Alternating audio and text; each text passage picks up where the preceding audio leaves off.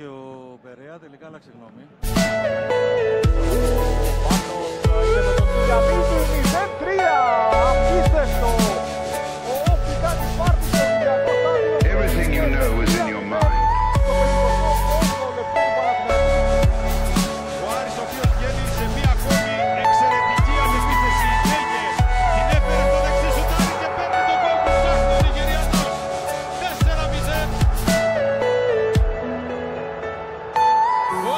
Άρης σε μια Διούδη ο Λιβάγια η κοντρά.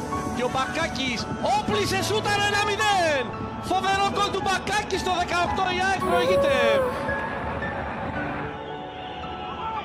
Κεφαλιά του Μάνταλου 2-0 από τον Ολιβέηρα.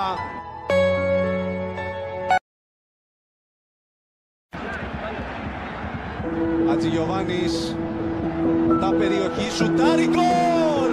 Είναι ο Μακέτα αυτός που μειώνει για τον Παναθηναϊκό με διαγώνιο σουτ. Ατζηγιοβάνης πατά περιοχή, γυρίζει χαμηλά 2-2! Ο Περέας σκοράρει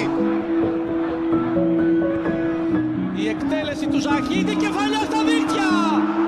Ολική ανατροπή. Έρχεται από τον Πάκο Κολοβέρ. κοντά στη μεσαία γραμμή τώρα. Ο Ίκασον δεν πήγε στη μπάλα και ρίσκαρε. Ο Χατζηγιοβάνης κέρδισε και έχει διαθέσιμο τέτα τέτ. Ο Παναθηναϊκός πάει το μάτς στο 2-0. Στο 56 Χατζηγιοβάνης. Από το πεδαριώδες λάθος στην άμυνα του ΠΑΟΚ. Ο Ίκασον έχει αφήσει την μπάλα να σκάσει μπροστά του. Έχει στην πλάτη το Χατζηγιοβάνη που λέει απλώς ευχαριστώ και βγαίνει σε τέτα τέτ με τον Σίφκοβιτς πλασάρει πολύ εύκολα